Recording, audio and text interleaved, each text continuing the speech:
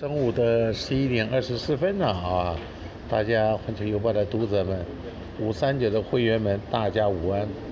社长在开开干吃了午餐，你看看他生意好的不得了，满街满桌都是人啊！我等会带两个小菜跑到红包场纯听歌，以后三百就三百啊，四百就四百，我不啰嗦的啊，因为我那边还有祭酒，纯听歌啊。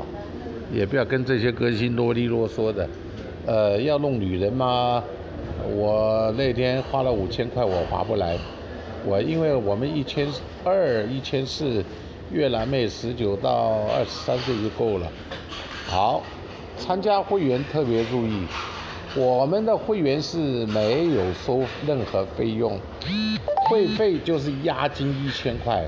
你租房子也要租人家个押金嘛。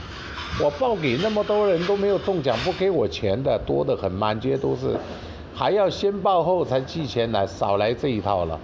我已经报过几百个人，啊，那个然后他从来不寄我一百一百块钱的，中奖后就过河拆桥，对不对？好，那么我们现在，呃，就是决定这样，这种方法啊，决啊，谢谢决决定这种方法，这个这个这个这个。哎，老板娘，给我来来瓶可乐，好不好？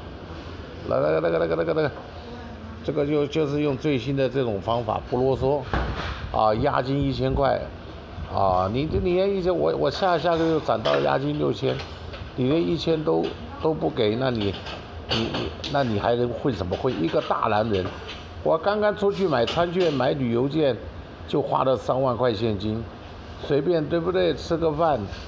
对不对？再听个歌，一天也要花个一万块钱呢。你老兄连一个大男人连一千块都没有，你不要笑掉我的大牙了，对不对？没有钱人永远没有钱呐，你要跟我这个有钱人跑了。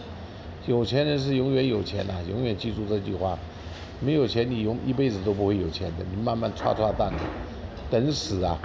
棺材板给他一盖就解决了。